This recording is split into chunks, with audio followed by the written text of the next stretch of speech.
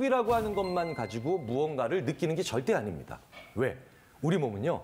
능동적 촉감각과 수동적 촉감각이라는 거 하는 걸 달리 가지고 있어요. 무슨 얘기냐면요. 시각장애가 있으신 분이 점자책을 이렇게 읽고 계신데요. 내가 내 손으로 움직여서 점자책을 읽는 것도 읽는 거지만 내 손은 가만히 있는데 점자책이 이렇게 지나가도 결국 점자책이 읽는 거죠. 근데 내가 손을 움직이면서 읽고 있을 때가 훨씬 더 그 내용을 파악하는 거고 그 다음에 이해하는 데 유리합니다. 왜? 우리 인간이 몸이 계속 움직이면서 나의 상태와 나의 위치를 계속 반영을 하는 거예요. 그래서 내가 움직이고 있지 않다라는 거 느낄 때나 혹은 내가 움직이고 있지 못할 때는요. 사람의 감각이 떨어집니다. 같은 촉감각이라도요. 이 촉감각도 굉장히 민감한 거예요. 단순히 그냥 터치가 아니라는 뜻입니다. 게다가 촉감각처럼 문화와 맥락적인 그런 영향을 많이 받는 것들도 별로 없어요. 무슨 얘기냐? 맞으면 아프죠. 갈고리로 등에 이렇게 쫙 꿰가지고 사람을 들어올리면 얼마나 아프겠어요. 근데 그게 고통으로 안 느껴지는 경우도 문화적으로 얼마든지 가능하다는 겁니다. 자, 저게 꼬챙이로 아까 말씀드렸던 것처럼 사람 등을 이렇게 꿰서요. 들어 올려서 돌립니다. 예, 저걸 훅 스위닝이라고 해요. 훅 스위닝. 예, 그런데 저게 실제로 저 의식을 지금도 하고 있거든요. 예, 꽤 많은 남부인도 쪽에서요. 근데 저 사람들은 그렇게 큰 고통을 안 느껴요. 일종의 의식이에요. 자, 왜 그러느냐? 이 촉감각에서 느끼는 고통은요, 그 문화에서 그걸 불안하게 만드느냐, 불안하지 않게 만드느냐에 철저히 달려 있습니다. 불안할 때 맞으면요, 되게 아파요. 네. 안 불안할 때 맞으면요, 덜 아파요. 차라리 그리고 너 이거 맞으면 5만 원 줄게 하고 맞으면 달아요, 매가. 네. 그걸 위험하고 불안하게 만드느냐, 문화적으로 그렇게 만들지 않느냐에 따라서 그게 고통은 철저히 지배당합니다. 그래서 실제로 불안한 상태에서 상처를 입은 사람들, 병사들이죠. 교전 중에. 그렇죠? 그러면 응급실에 있는 환자들보다 더 몰핀을 달라 그럽니다. 그런데 재밌게도 앰뷸런스에 태우면 군의관이 와서 얘는 후송시켜서 병상에 눕혀라. 이런 식으로 불안한 전장에서 빠져나오게 만들면 급감합니다. 훨씬 줄어들어요. 불안이 고통을 늘리기도 하고 줄이기도 한다는 거예요. 자, 그래서 이건 통증에 관련돼서 굉장히 재밌는, 재밌다라기보다는 좀 의미심장한 얘기를 하고 있는데 저희들이 의사분들과 의학자들과 같이 연구를 해보면요. 불안은요, 원래 객관적인 통증의 양을 증가시키죠. 그래서 불안한 상태가 언제입니까? 시험 전날이 불안한가요? 시험 끝난 날이 불안한가요? 시험 전날이 불안하죠. 중요한 프레젠테이션이 있을 때 불안하죠. 큰 프로젝트를 앞두고 있을 때 불안하죠. 이때 사람들이 아픈 건 약간 뻥 튀겨진 가능성이 큽니다. 근데 진짜 조심해야 되는 건 의사 선생님들이 저 실제로도 그러시죠.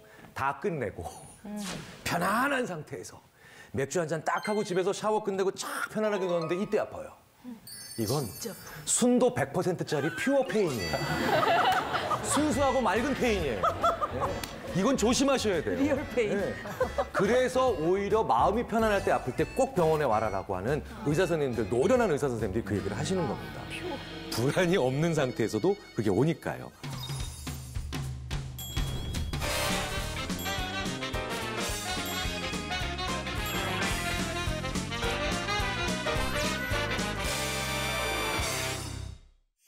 자, 이제 듣는 거에 대한 얘기를 좀 드려보도록 하겠습니다. 만약에 정말 일어나서는 안 되는 일이지만 정말 어떤 불행한 일이 일어나서 보지 못하게 되는 경우와 듣지 못하게 되는 경우 이게 둘 중에 하나를 어쩔 수 없이 감내하셔야 된다면 둘 중에 결국 어느 걸 받아들이시겠습니까? 라고 사람들한테 많이 여쭤보면 대부분은 보지 못하는 게 더 싫으니까 차라리 듣지 못하겠습니다. 라고 얘기를 해요. 보통 말씀들을 하십니다. 자, 그런데요. 그렇지 않을 수도 있습니다. 시각과 청각 둘 중에 하나를 잃어버리면요. 의외로 소리를 못 들으시는 분들이 내가 행복하다, 삶의 질이 나는 이 정도 된다라고 얘기하는 게 더 떨어지세요. 소리가 굉장히 중요합니다. 헬렌 켈러 다 아시죠? 네. 헬렌 켈러. 이제 두 가지 감각을 다 잃어보셨던 분이에요. 이 헬렌 켈러가 이런 얘기를 남겼습니다. blindness 그러니까 보지 못하는 거죠. blindness separates people from thing이에요. 그러니까 보지 못한다는 건 separate 분리시키는 거잖아요.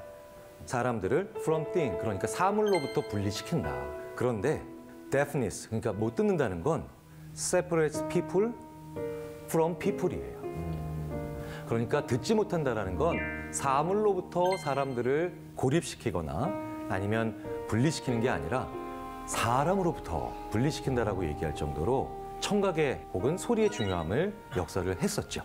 Stricken blind and deaf at two years of age, Miss Keller consequently could never learn to speak normally.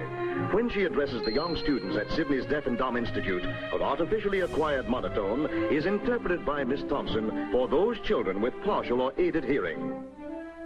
I know every step of the road you have taken, and I rejoice at your cheer and determination. And when you go out to life's struggles and adventures, You will raise a banner. you will raise a banner Who, who follow you. for the deaf who follow you.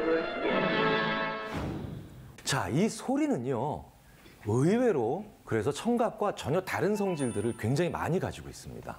그래서 이 소리의 속성이라든가 우리가 듣는다라는 게 뭔지를 이해를 하면요, 인간의 마음에 대해서 굉장히 많은 것들, 특히 우리가 잘 몰랐던 것들을 이해하기가 좋아져요. 그리고 우리가 뜨지 못했던 눈을 소리를 통해서 인간 마음에 대해서 뜰 수가 있습니다. 한번 이런 상황을 보겠습니다. 두 가지 상황이에요. 한 가지 상황에서는요, 아저씨가 귀를 대고 듣고 있습니다. 근데 옆방에서 사람들이 열심히 얘기하고 있는 겁니다. 그런데 또 다른 경우는, 자, 이제 호수가 있어요. 호수가 있는데 호수가에 이렇게 홈을 파놓고 여기도 물이 들어오겠죠. 그럼 여기다 종이 두 장을 딱 붙여놔요.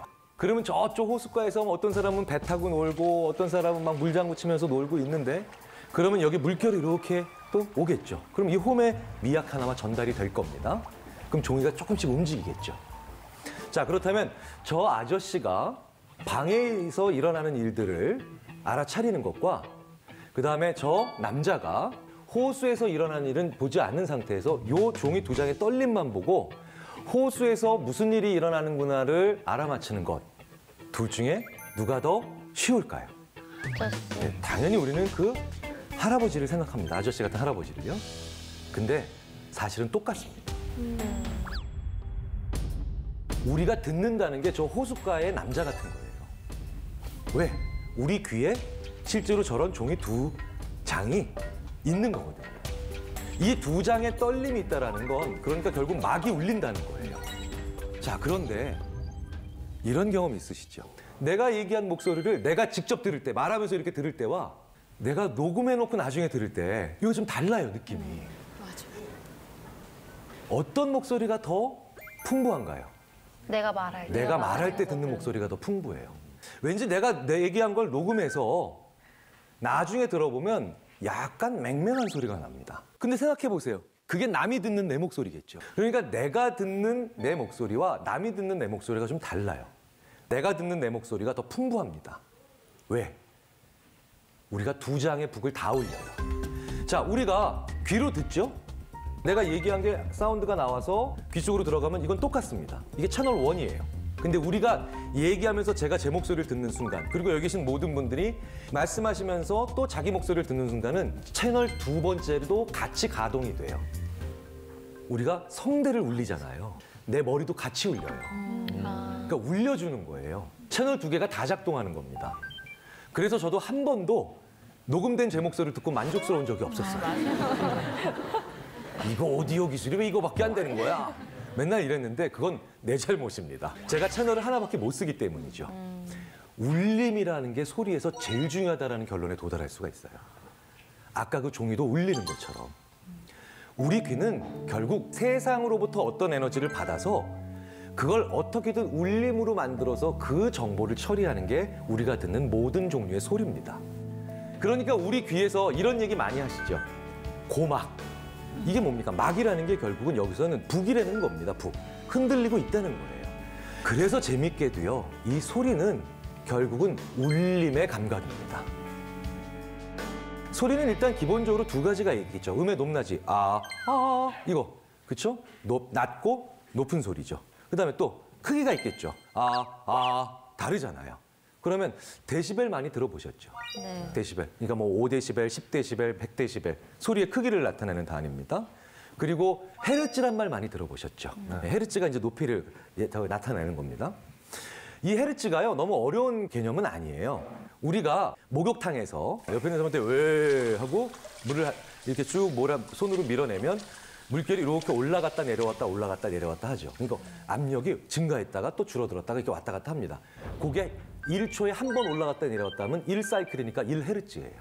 20번 왔다 갔다 하면 20헤르츠겠죠. 2만 번 왔다 갔다 하면 2만 헤르츠겠죠. 지금 제가 말하고 있는 목소리도 몇 천 번 왔다 갔다 하는 겁니다. 인간은요, 20헤르츠부터 2만 헤르츠까지 들을 수가 있어요. 20헤르츠는 진짜 낮은 소리죠. 에, 아, 더 낮아야 되는데. 어, 불가능합니다. 네, 제 목소리는. 2만 헤르츠에 육박하는 높은 소리는요, 사실은 좀 끔찍한 상상이긴데 손톱으로 칠판을 아, 예, 그러면서 그렇게 높이 올라가는 거예요. 네. 생각만 하기도 싫은 소리가 나오지요. 20에서 2만 헤르츠까지 들을 수가 있어요. 그러니까 더 지나가면 못 듣습니다. 제가 어렸을 때 라디오 많이 들을 때 이런 거 나왔어요. 89.1 메가헤르츠 뭐 이런 CM 송이 나왔어요. 그렇죠? 8.1 네, 뭐 이런 거. 예. 그러니까 메가가 뭐예요? 100만이잖아요. 그러니까 89.1 메가헤르츠라면 8,900만 헤르츠예요. 못 듣죠. 우린 2만 헤르츠밖에 못 들으니까. 그것도 들을 수 있으면요. 우린 라디오 안 사도 되죠. 저쪽에서 어유 오늘 저기 뭐 컬투 아저씨들이 뭐 하고 있네. 뭐. 교통방송 들어볼까? 이쪽으로 돌려야지. 자, 그러니까 우리는 이렇게밖에 못 듣습니다. 근데 왜 이렇게밖에 못 들을까요? 세상의 모든 것에 참견할 수는 없잖아요. 그 모든 것들을 우리가 들어야 된다면 집 앞에 있는 곤충이 지나가는 소리도 들으면서 제가 왜 지나갈까? 그렇죠? 모기 소리 하나만으로도 우리는 잠을 못 이루잖아요. 그런 것들에 다 신경을 빼앗기려면 우리는 엄청나게 세포들이 매 시간 매분 활동을 해야 되는데 결국 그 세포들을 매겨 살리고 계속 움직이게 만들려면 우리는 하루에 몇십 끼를 먹어야 될지도 모릅니다. 그러니까 적당하게 맞춰 놓은 거죠.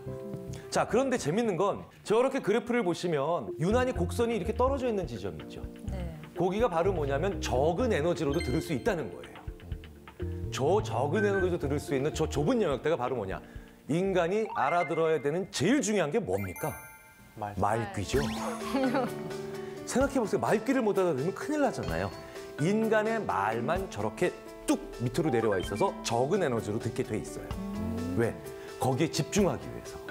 일부러 저렇게 절묘하게 만든 거죠. 그런데요, 우리의 소리를 듣는 귀 그리고 그것과 관련된 청각이요, 시각이랑 굉장히 중요한 차이점을 하나 가지고 있습니다. 이게 울림이잖아요. 예. 자, 그러면 마음을 울린다 이런 표현 쓰죠. 자, 이건 이성과 감정 중에 어디에 더 가까운 얘기가 됩니까? 감정. 이죠 소리가 즉 귀가 눈보다 더 감정을 많이 건드려요. 오히려 소리로만 들었을 때 더 감정적으로 변하는 경우가 굉장히 많습니다. 청문회 볼 때 가끔 막 우리 화날 때 있잖아요. 막 짜증 날 때. 그렇죠? 청문회를 TV로 본 사람들과 라디오로 들은 사람들이요. 라디오로 들은 사람들이 더 격하게 반응해요.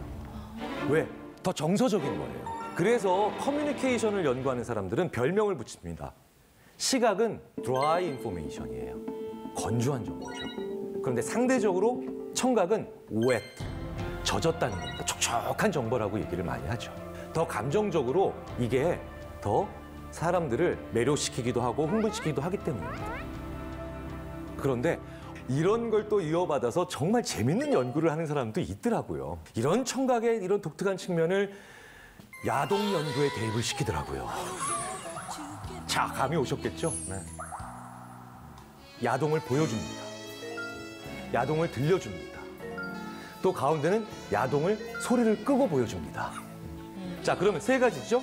자, 그런데 어떤 쪽에서 제일 성적으로 흥분했냐는 거예요. 자, 그러니까 야동을 제대로 다 제대로 다 본다는 표현이 좀 이상합니다만, 네. 다 보면 소리랑 화면이 다 나온다는 거죠. 그것보다 오히려 소리로만 듣는 사람들이 성적으로 더 흥분합니다. 네. 왜? 훨씬 더 많은 것들을 상상하게 되는 거예요. 훨씬 더 많은 것들을 머리 마음속에서 그리고 이것도 꺼내오고 이것도 꺼내오고 이것도 꺼내오는 겁니다. 그래서 굉장히 많은 경우에 소리는 시각보다 훨씬 더 강력한 정서에 호소하는 무기가 되죠. 참 연구하다 보면 어떻게 저런 독특하면서도 창의적이지만 야한 연구들을 할 수 있을까 참 궁금합니다. 저 희 같은 경우에는 야동 보다가 어머니가 들어오면 모니터만까지 소리는 안 꾸릴 경우가 아, 많거든요. 그렇죠. 네. 그래서 모바일 기기를 사용하셔야 됩니다. 가끔 이런 얘기를 많이 하시는 걸 제가 어렸을 때부터 많이 들었어요. 아이들은 잘 못 듣는다고. 네, 태어난 지 얼마 안 아이들은 안된 아이들은 잘 못 들어. 걔가 뭐 듣냐. 뭐 생각을 하시는데 아닙니다. 신생아들도 굉장히 잘 들어요. 생후 이틀 된 아이들, 2개월도 아니고 이틀 된 아이들은요. 이 공갈적 꼭지 같은 거 있죠? 이렇게 빨고 있을 때 안 보이지만 자기 엄마의 목소리가 들리거나 자기 엄마가 얘기하는 걸 듣게 되면 이 젖꼭지를 빠는 패턴이 달라집니다. 그냥 이러고 빨고 있다가 자기 엄마 목소리가 딱 들리면 이렇게 빨기도 하고 또 잠깐 놨다가 어 하다가 또 쪽쪽쪽쪽 빨기도 해요. 이틀밖에 안 된 애들이요. 예. 그리고요 더 놀라운 건 이렇게 이틀밖에 안 된 아이들이요 모국어일 때랑 외국어일 때랑 또 달라요. 그러니까 외국어가 들리면 그냥 사운드구나. 뭐야 저거 이러고 있는데 모국어가 들리면 빠는 패턴이 또 달라집니다. 그러니까 아이들이 굉장히 잘 듣는 거예요. 다만 적은 소리에 민감하지 않을 뿐입니다. 충분히 강한 강도로 제시가 되면요. 우리 어른들이 상상도 못할 정도로 그 얘기를 잘 알아듣죠. 아이들은 피아노 앞에 갖다 놓으면요. 저런 아이들은 쿵쾅 쿵쾅 막 치면서 막 웃어요. 막 아! 막 웃어요.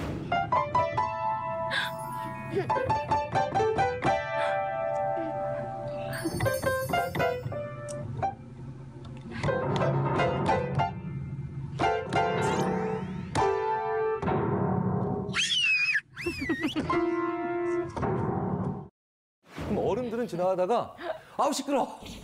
왜? 아름다운 음악이 아니거든요. 우리 어른들은 도미솔 같은 화음의 즐거움을 느끼라고 교육을 받았습니다. 그러니까 그게 좋은 거예요. 근데 아이들이 쿵쾅쿵쾅 치는 불협화음은 우리는 그걸 불쾌라고 하는 감정을 연합시키라고 또 교육을 받은 거죠. 그래서 우리는 그게 불쾌한 거니까 순간적으로 어떻게 생각을 합니까? 아이들한테도 안 좋은 거라고 생각을 해요. 근데 그게 아니라는 거죠. 좋은 것보단 다양한 걸 경험하는 게 훨씬 더 중요합니다. 특히 아이들한테는.